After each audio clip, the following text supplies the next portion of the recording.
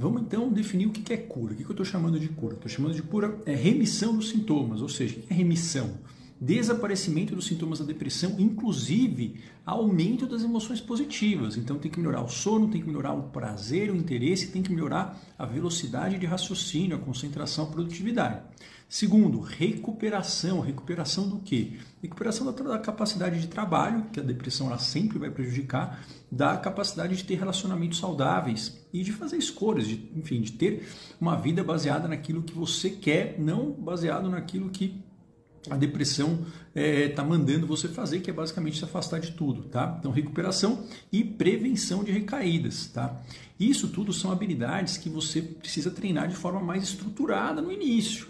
Só que depois a ideia é que isso vire um hábito e com isso você vai conquistando as coisas da vida.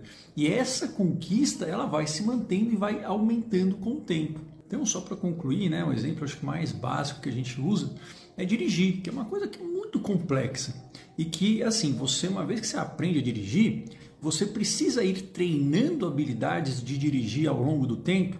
Olha, na verdade você está treinando, porque se você continua dirigindo, você está treinando isso né? Igual aprender a ler.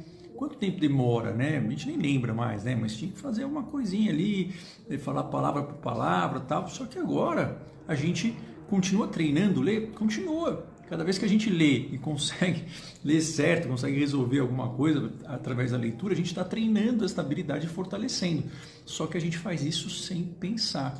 Então, o objetivo da, da melhora da depressão, como de qualquer quadro em saúde mental, é que você melhore, você incorpore umas habilidades que você faz sem precisar fazer esforço, porque aí você tem energia mental para se concentrar em outras coisas da sua vida.